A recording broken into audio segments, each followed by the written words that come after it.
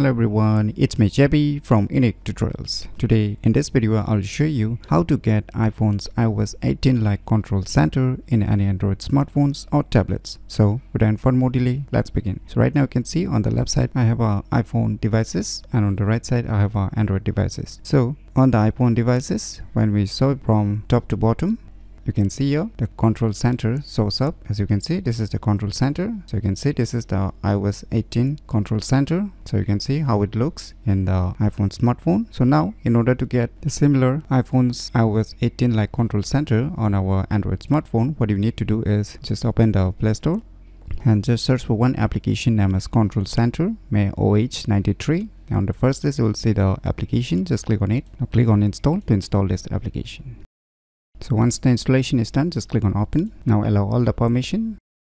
So now you can see the preview, how it will look and below there are some options like display, background, edge trigger. You can customize the edge triggers. Right now you can see some yellow markings are appearing on the left hand side. So where you, where you want, you want in the top, then it will appear on the top as you can see. So I'll just keep on the right side right now. You can place it anywhere depending upon your needs. And now if you swipe from right to left, you can see the control center.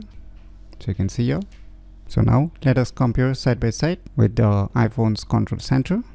So now you can see here, it looks exactly the same as you can see. On the above, you'll see a plus icon on the left side as you can see on both of the devices. So if we click on this plus icon, so now you can edit those buttons. And similarly on your iPhone smartphone, if we click on this plus icon, now you can see on both of our devices we can edit and even you can see our add a control and here also you can see add a control if we click on each one of it now you can see the similar style. Even you can drag it. As you can see here similarly you can do the same thing on your iOS devices so you can see. So by using this application named as control center OH 93 you can easily get iphone's ios 18 like control center in any android smartphones or tablets very easily. So if you never known about these cool tricks then you should definitely give it a try. So if you find this video tutorial useful please click on the thumbs like button. And if you're new to our channel click on the subscribe button. And lastly thanks for watching